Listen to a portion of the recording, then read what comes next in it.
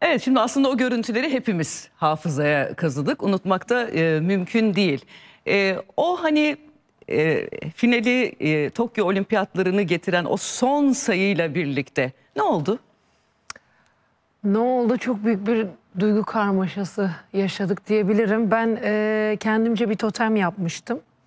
E, Polonya maçında dördüncü sette de o kritik sette de e, set sayısı attığımız o son set sayısını attığımız dönemde dedim ki ben izleyemeyeceğim. Lütfen sayı olduğu zaman bana haber verin diye gözlerimi kapatmıştım. Bu maçta da aynen maç sayısında başımı öne eğdim. Sadece ağlamaya başladım diyebilirim. Hani skor bizden yanaydı. İnsanların, takım arkadaşlarımın sevincini görünce evet biz kazandık dedim. Birkaç saniye oturdum koltuğuma idrak etmeye çalışıyorum. Tabii kendimi tutamadım. Gözyaşlarımı tutamadım. Sonra hep beraber takım arkadaşlarımla kutladık. Ee, o anki duyguyu anlatamam size. Ee, yılların vermiş, yıllardır vermiş olduğumuz çabaların karşılık görmesi, o turnuvada ne kadar zor anlardan çıkıp takım olarak bir olabilmeyi, biz olabilmeyi başarmış olmamızın verdiği o mutluluk, gurur, Türk halkını bu bayrak altında ülkemizi, Türk kadınını en iyi şekilde temsil etmenin verdiği o kadar çok fazla mutluluk ve gurur kaynağı vardı ki o anda sahada. Zaten dikkat ettiyseniz tüm staff, oyuncular herkes bir yere dağıldı. İnanılmaz bir coşku vardı. Çok keyifliydi o Biz de ekranın başında evlerimizde salonun dört bir köşesinde Ne güzel. koştuk. Ee, şimdi hani e, kadın vurgusunu yaptın. Ee, sosyal medyada da benim en çok dikkat ettiğim şeylerden biri oydu. Ee, çünkü bu ülkede hani kadınların pek çok alanda çok ciddi mücadeleleri var. Yani Evet. belli hakları elde edebilmek için ciddi mücadeleler veriyoruz. O bağlamda da bakıldığında kadınların bu başarısının ayrıca bir mutluluk verdiğini görüyorum. Siz onu hissediyor musunuz? Tabii ki de, tabii ki de hissediyoruz. Zaten aslında biz yaptığımız işten dolayı çok şanslıyız. Hem e, tüm Türk kadınlarına, kız çocuklarına örnek olabilecek bir e, görevimiz var. Hem ülkemizi temsil ediyoruz, bu kutsal görevimiz var. Aynı zamanda bunun yanında da rol model görevimiz var. E, çok şükür biz bunu alnımızın akıyla gayet temiz bir şekilde başarabildik. Ee, çünkü ben her zaman şunu söylüyorum. Yeter ki bize o şans verilsin. Biz çünkü biz kadınların özellikle Türk kadınların yapamayacağı bir şey yok. Sadece şansa ve o e, çabaya ihtiyacımız var. Buna da ülke olarak diyorsunuz. mi? gibi gibi evet yani izin versinler Evet. bize neler neler yapacağız. Çünkü gerçekten dünya bence kadınların elinde. Zaten yuvayı dişi kuş yapar derler. Çok doğru. Ben bu güce, bu e, inanca inanıyorum. Ee, biz de çok şükür bunu başardık ve ülke olarak da buna ihtiyacımız vardı. Biz kadınların şu an çok zorlu bir dönemden geçiyoruz. Kız çocuklarının, genç çocukların spora, e, bu tarz şeylere, başarılara ülke olarak birlik ve beraberlik içinde olmaya çok ihtiyacımız vardı. Aslında biraz da mesela voleybolda biz hani başarılara alışığız sizler Evet. sayesinde. E, fakat çok ciddi bir coşku vardı. Biraz belki bu fotoğrafın etkisiyle değil mi? Ya E, tabii e, İnanılmaz şimdi... bir mutluluk yaşattı. Aynen tam dönemi de çok önemli. Şu an milli takım arası vardı. Hani e, futbolda ara vardı. Tam çok güzel döneme denk geldi bizim bu başarımız. Ama bunun arkasında çok uzun yıllar yatıyor. Çok büyük fedakarlıklar yatıyor. Geçen sene, geçen yaz Avrupa Şampiyonası'nda elde ettiğimiz başarı, o tüm Türkiye'nin bizi izlemesi, destek olması, devamında e, olimpiyatlar bir ülkemiz adına çok önemli bir şeydi. Hele ki kadın voleybol takımı adına bunu tekrardan yaşamamız gerekiyordu ve şu an takım sporu olarak adımızı yazdırdığımız için çok mutluyuz. Hedeflerimiz arasındaydı. Dediğim gibi buna çok ihtiyacımız vardı. Şimdi e, gelelim hani o işte e, maçlar sırasında büyük bir stres yaşadık e, siz de hani bir Evet. duygudan bir duyguya dediniz. E, o zorlu anları biraz e, konuşalım. Şimdi e, özellikle mesela Polonya maçı. Polonya maçından sonra da e, şöyle demişsin. e, çok karmaşık duygular yaşadım. Evet. E, değil mi? Ne yaşadın? Yani hani e, mesela 3-1 ye- ilk maçta Almanya'ya 3-1 yenildik. Evet. E, fakat sonra finalde 3-0 aldık. Evet. O 3-1'den 3-0'la getiren süreçte hem duygu anlamında Evet. hem motivasyon anlamında ne yaptınız? Şöyle söyleyeyim. Ee, ilk maç Almanya'ya yenildik. E, beklemediğimiz bir yenilgiydi. Takım olarak kötü oynamıştık. turnuvanın ilk maçı hani ilk maçın günahı olmaz dedik. Telafisi olan bir maçtı çok şükür ki. Çünkü sonraki iki maçı aldığımız sürece yarı final hakkımız devam ediyordu. Ee, ilk maçı kaybettik. Herkes çok üzüldü. Ama sonrasında Hırvatistan'la e, biraz çıkışa geçtik. Takım olarak biraz daha toparladık. Kendimize geldik. E, Belçika ile beraber 2-0 önde çok iyi başladığımız bir maça Belçika'nın tekrar oyuna e, ortak olmasıyla beraber 3-2'ye getirdik. Ama orada her zaman bir inanmışlık vardı. Takım arkadaşlarım, hepimiz, staffımız, herkes inanın, inanın alacağız dedik zaten. O maçı kazanınca biraz rahatladık çok şükür artık yarı finaldeyiz dedik. Polonya maçı bizim için çok çok zorlu geçti. Hatta bizim adı- bizim adımıza final maçıydı diyebilirim. Hop oturduk hop kalktık. Yani Öyleydi. evet çok karmaşık duygular yaşadım, yaşadık. Çünkü çok gidecek dediğimiz anlar oldu. Ama biz sadece şunu başardık. Hep beraber saha içinde o kritik dördüncü seti oynarken ve beşinci sette de ben zaten takım arkadaşlarıma 2-1 geri düştüğümüzde kızlar farkında mısınız? Bu bizim son şansımız dedim ne yapıp edip bunu çevirmemiz gerekiyor dedim. Zaten dördüncü sette de o kadar inandık ki her zaman ortaya gelip kızlar derin bir nefes alıyoruz. Sakin kalıyoruz ve biz bu maçı kazanacağız. Sadece inanmamız gerekiyor dedik. O an herkesten inanılmaz pozitif bir enerji aldığımı söyleyebilirim. Herkes birbirine sadece pozitif enerjisini gönderiyordu. Meryem zaten müthiş bir performans Evet, gösterdi. Simge inanılmazdı. inanılmaz defanslar yaptı. Şeyma yedekten geldi. Çok güzel katkı sağladı. Ben, Zera, bütün arkadaşlarımızdan herkes çok iyiydi. Tiebreak'te de zaten 2-2 yaptıktan sonra dedik ki genelde zaten 2-2'ye getiren taraf alır. Kızlarla çok konsantreydik. E, Polonyalıları oyuna sokmadık ve kazandık. O, o maçtan sonra herkes ağladı, inanılmaz farklı duygular yaşadık. Son maça gelecek olursam da ne değişti? Takım olarak biz Almanya'ya yenilgisinden sonra Hırvatistan, Belçika ve özellikle Polonya maçından sonra bir olduk ve inanır mısınız o düğmeyi bir anda off'tan ona getirdik. Çok da güzel taktik anlamda antrenörümüz bizi hazırladı. Birinci maçta çünkü hazır değildik. Yeni bir oyuncuları vardı. Sistemi bilmiyorduk. Ama son maçta tamamıyla Almanya maçına konsantre çıktık. Zaten herkesin gözünde o heyecanı, o hırsı, o bileti alma isteği vardı. Isınmadan itibaren zaten sahaya girdik. Her yer Türk bayrakları. İnanılmaz bir Kırmızı seyirci beyaz. desteği vardı Hollanda'da. İnanılmaz. Mesela bana sordular final maçının yıldızı kimdi diye. Bu maçın tek bir yıldızı var o da Türk halkı dedim. İnanılmaz bir destek vardı. Zaten görmeniz lazım. Sanki ülkemizde oynuyor gibiydik. Çok güzel bir atmosfer vardı. Yani her şey o kadar olumlu gidiyordu ki o maçı kaybedecek bir an öyle bir düşüncemiz olmadı. Zaten o kadar hızlı başladık ki Almanya takımı oyuncuların yüzünden neye uğradıklarını böyle bir maç performans beklemediklerini hissettik. O da bizi daha da güçlendirdi. Sonunda da 3-0 temiz net bir şekilde hani onların eline vermeden hakkımızla kazandık. Çok mutlu ve gururluyuz şu an inanın. Şimdi bu senin ikinci olimpiyatın olacak. Evet Bu inşallah. da çok hani kariyerin açısından inanılmaz bir e, başarı. E, olimpiyatın mesela işte bir Avrupa şampiyonasıyla karşılaştırdığında, diğer organizasyonlarla karşılaştırdığında ciddi bir farkı var mı? Tabii ki de var. Nasıl bir fark Ben o? hani çok fazla Avrupa ve Dünya Şampiyonası oynadım. Bir kere e, organizasyon olarak inanılmaz bir fark var. Çünkü sadece tek bir branş yok. E, tüm dünyada yayınlanan inanılmaz çok fazla yayın alan bir turnuva. E, herkesin, her sporcunun hayali en üst seviyesi.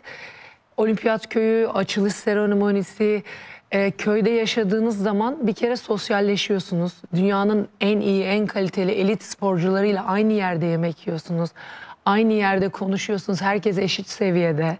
E, çok güzel arkadaşlıklar yaşıyorsunuz. Bambaşka bir atmosferi var her Kesinlikle şeyden önce. bambaşka bir atmosfer var. Hani anlatılmaz yaşanır der ya gerçekten öyle. 2012 benim için çok farklı geçmişti ama 2020 çok iyi başladı.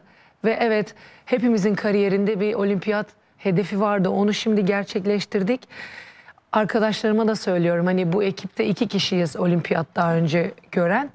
Onlara diyorum gittiğiniz zaman bizi çok daha iyi anlayacaksınız diye. Naz değil mi diğeri Evet de? Naz'la ikimiz. Gittiğiniz zaman bizi çok daha iyi anlayacaksınız. Ben şu an bir kere oynadım ama şu an yepyeni temiz bir sayfa, yepyeni duygularla Tokyo'ya gideceğim. Şimdi baktığımda Japonya, Sırbistan, Çin, Amerika Birleşik Devletleri, Rusya e, rakipler arasında. E, Evet. Çin ve Amerika mı dünya sıralamasında ilk ikideler? Ee, Dünya sıralaması şöyle gidiyor.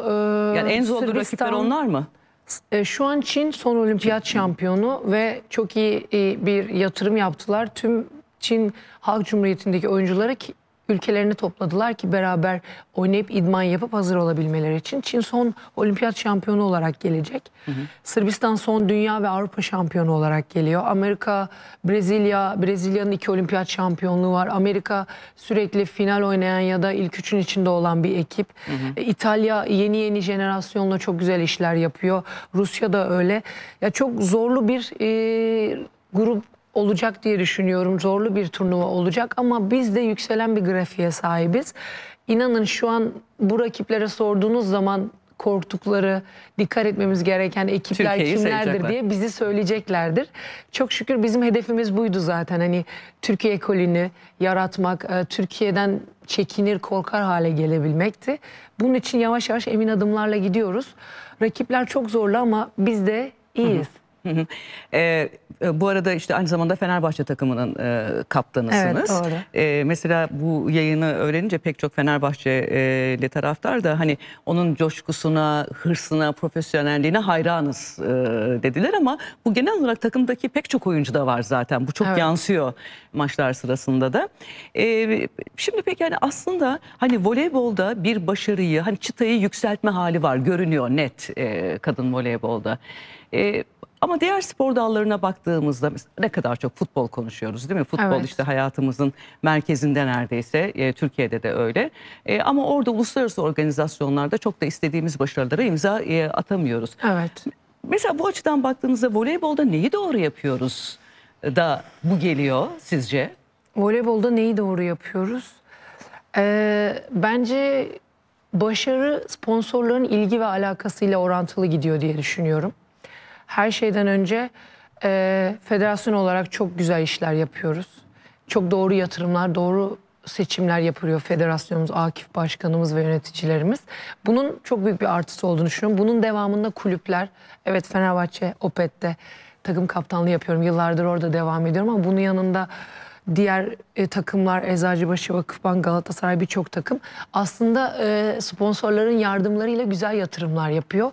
Bundan 10 sene, 10, 10, 13, 14 sene öncesine kadar Türkiye Ligi çok bilinmezken artık e, dünyanın sayılı antrenörleri, dünyanın en iyi elit sporcuları Avrupa daha önce Rusya, İtalya'yı tercih ederken artık Türkiye'de oynamayı tercih ediyorlar.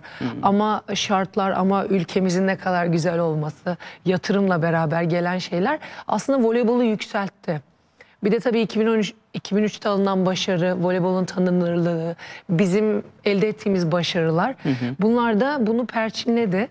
E, futbol çok büyük bir e, Endüstri. fabrika, evet, endüstriyel artık hani çok farklı bir bölge diyebilirim. Biz ama voleybol olarak böyle kazıya kazıya böyle başarılar elde ede herkesin aklına, hafızasına e, ismimizi Türkiye Kadın Voleybol Milli Takımı'na sokmaya çalışıyoruz.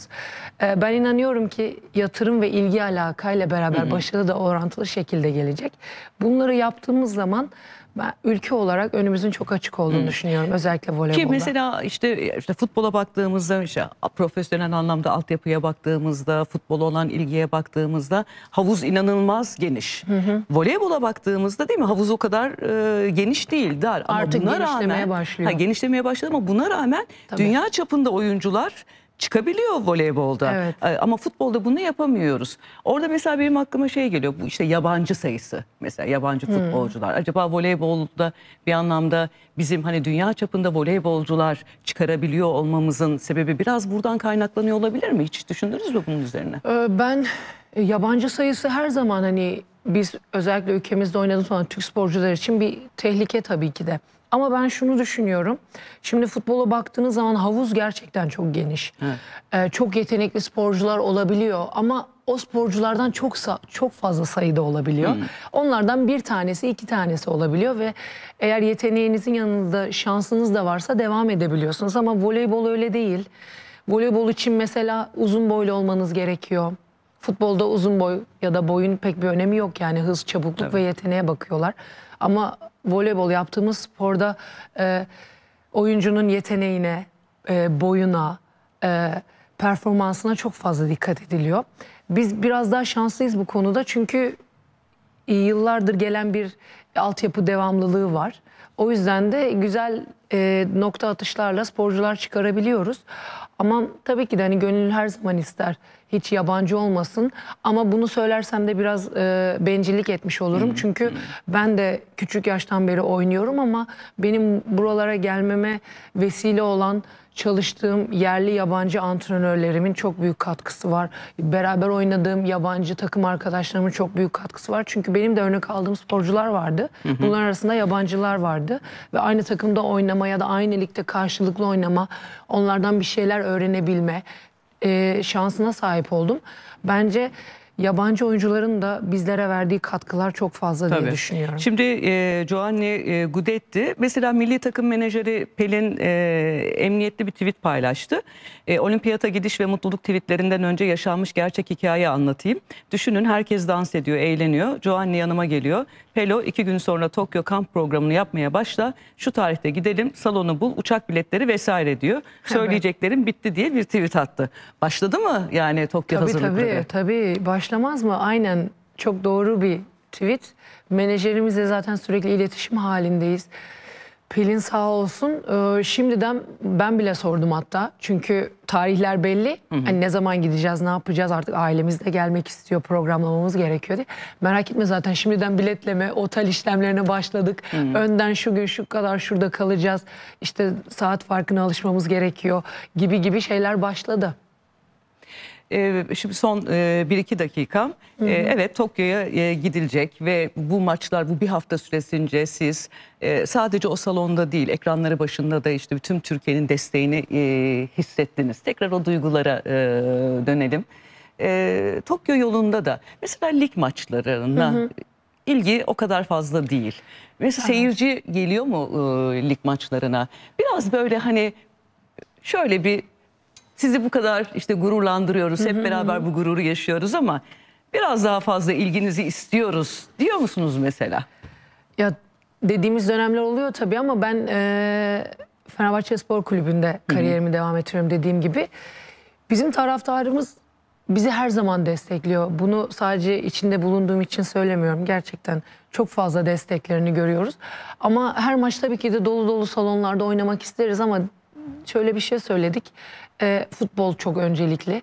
Ama salonları doldurmamız için aynen milli takımda yaptığımız gibi kulüpte de başarılı sürekli kazanmamız ve sürekli e, insanlara kendimizi hatırlatmamız gerekiyor. O yüzden bu sene de e, kulüp hedeflerimiz arasında tekrardan gittiğimiz o üç kulvarda da şampiyon olmak var. Bunlar adım adım gelen şeyler çünkü başarı ne kadar geldikçe ilgi de o kadar geliyor. Ama tabii şunu söylemek isterim ki biz e, bayan sporcular olarak, voleybolcular olarak inanın çok fazla çalışıyoruz. Ve e, zaman zaman kötü performans sergileyebiliyoruz ama bu sporun güzelliği zaten sporun içinde olan şeyler. E, lütfen desteklerini esirgemesinler. Ee, her zaman bizi izlemeye, ekran başında bizi desteklemeye devam etsinler. O güzel ilgi alakalarını göstermeye devam etsinler. Ee, Filenin sultanları olarak da zaten milli maç olduğu zaman inanılmaz bir Tabii. Birlik beraberlik oluyor. Ben şunu öğreniyorum ki biz pazar günkü maçta reytinglerde ikinci çıkmışız. Bence bu voleybol tarihinde çok önemli bir şey. Bu gurur hepimizin. Biz takım arkadaşlarımız, stafımız, federasyonumuz olarak çok mutlu ve gururluyuz bunu başardığımız için. E, bu yaz da e, Tokyo'da e, hedefimiz var. Olimpiyat Gerçekten. şampiyonluğu Yani hedefimizi yüksek tutmak istiyoruz. Şöyle söylemek istiyorum. Önce grubumuzu görmemiz lazım. tabii. İnşallah grubumuzda zorlu rakipler olur da çaprazdan hani daha kolay eşleşme olur. Ama biz iddialıyız. Çünkü bu takım artık bu özgüvene, bu popülariteye, bu birlik beraberliğe, bu Türk halkını birleştirmeye alıştı ve çok seviyor. Çok keyif alıyoruz. Hedefimiz de Tokyo'da adım adım gidip e, bir madalya böyle ucundan yakalamak istiyoruz. Hedefimiz var. Lütfen bizi izlemeye, bizi desteklemeye devam edin. Ee, takımımız çok tatlı, çok güzel karakterlerden kurulu. Hepimiz inanın gecemizi gündüzümüze e, Türk halkını mutlu etmek için bu bayrağı en iyi şekilde dalgalandırmak için mücadele ediyoruz. Bizi takipte kalın. Çok güzel işler yapacağız diye düşünüyorum. Peki. Çok teşekkür ediyoruz tekrar. Gerçekten e, hepimizi çok mutlu ettiniz. Gurur duyduk. E, sizin nezdinizde bütün takıma teşekkürlerimizi e, iletelim yine. Eda Erdem, A Milli Voleybol takımının kaptanı konuğumuzdu ve e, o başarıyı Tokyo biletinin nasıl e, alındığını anlattı bize. Teşekkürler tekrar. Biz çok teşekkür YouTube kanalımıza abone olun.